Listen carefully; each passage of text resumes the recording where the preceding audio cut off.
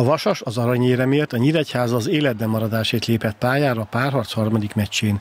A hazaiak kezdték jobban a mérkőzést, az első játszmában 11 pontra futott a vendégektől.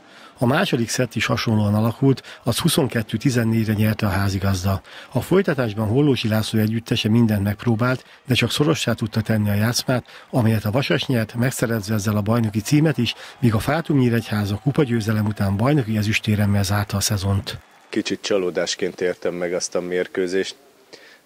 Nem is elsősorban a, a, a mutatott játék alapján, hanem, hanem fejben nem voltunk tiszták, tehát eléggé görcsösek voltunk, és, és fejben nem tudtuk kezelni a helyzetet.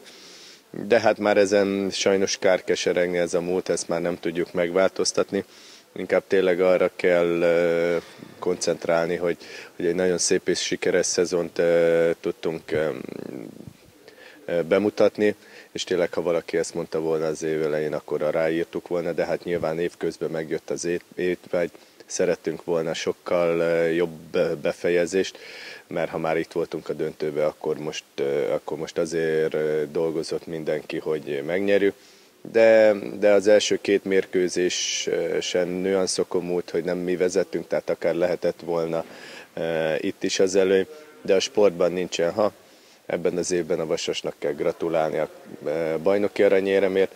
A kupagyőzelem, a bajnoki az üstérem és a sikeres nemzetközi kupaszereplés a szakember szerint annak a fejlődésnek köszönhető, amilyen a csapat keresztül ment a szezonban. Arra nagyon büszke vagyok, hogy tényleg a csapat egy csodálatos fejlődésen ment keresztül évelején, ahogy eh, láttuk egyéni képzettségek alapján, kevesen gondolták, főleg mi a szakmai stából is, hogy idáig el tudunk jutni. Nyilván ezért dolgoztunk, de azért ebben rettentő sok munka volt.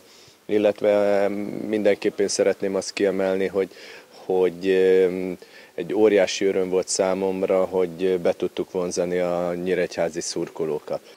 A csapat egy közös vacsorával zárja a szezont, mely szabadságot kapnak a játékosok. Mint Hollósi László elmondta, már aláírta új szerződését, arról viszont még korai beszélni, hogy milyen kerettel vágnak majd neki az új évadnak.